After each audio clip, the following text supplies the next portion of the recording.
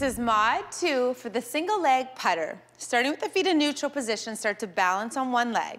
As you start to tilt forward, lift that back leg up to 60 degrees. Start with the arms shoulder width apart and try to keep your arms and your hands as they are as we start that pendulum movement. So start to move the arms from left to right, controlled movement, keeping the hands shoulder width apart. Stabilize to that left leg by pushing in to that left foot.